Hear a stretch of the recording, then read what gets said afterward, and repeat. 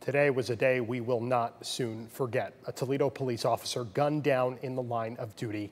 Tonight, there are more questions than answers as we all try to put together the pieces, all while the community tries to heal. Our Ariel Onstott live in West Toledo at the scene where all of this happened, and it's become a makeshift memorial for Officer Anthony Dia. Ariel, this response simply feels overwhelming tonight.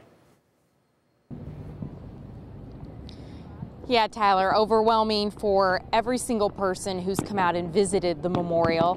I think one of the most overwhelming moments of the day for everyone was before sunset when Anthony Dia's wife and two sons came to say goodbye. There was not a dry eye as his sons cried, and family members and friends held each other and tried to offer support. And even after the sun has set, people are still continuing to come out, put flowers, words of encouragement, and appreciation as they try to say goodbye as well.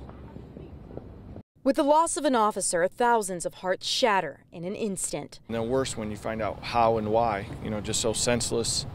It's just so senseless uh, on how he lost his life and why he lost his life. So it was, it was devastating. Officer Dia's last words were, tell my family I love them. Now Dia's community is saying, We love you. Balloons, flowers, and other tokens pay tribute to him across multiple spaces of the Home Depot parking lot. This is where he responded to his last call to serve and protect. Some people feel a responsibility to pay their respects. My sister was a police officer with Toledo. I had friends who were Toledo police officers. And Toledo police officers have been really, I mean, that child did not deserve to die like that. Others want to teach their children. One mother visited the memorial and came back with her husband and two sons in tow. We've watched throughout June as the unrest began and we saw the, the racial tensions and we, we want to learn, we want to understand. Um, and we have friends that are police officers, so this is very, very moving to us, and it's not something I want to see happen in my friends. No matter who you are, you can feel the heartbreak. It's heard in stifled sobs, it's seen in the hugs of grieving brothers and sisters in blue.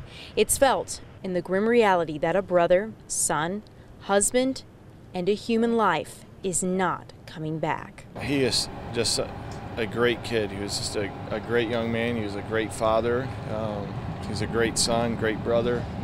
Everyone that knew Anthony, he just was always smiling. Just a great kid. Um, it's just so tragic. And I think one of the things that makes this so tragic overall is that everyone who's come to visit says he was one of the good ones. A woman came by just a bit ago sharing a story about how Officer Dia helped her son when he was in crisis and helped keep him out of jail. Everyone has nothing but fond words and memories to say of him. But despite this tragedy, if there is one ray of hope, it is everyone supporting each other, coming together to offer words of encouragement and love to get through this very difficult situation. WTOL will continue to keep you updated as we try to honor Officer Dia's memory and keep you updated as the situation progresses in the coming days. Reporting live, I'm Ariel Onstott, WTOL 11.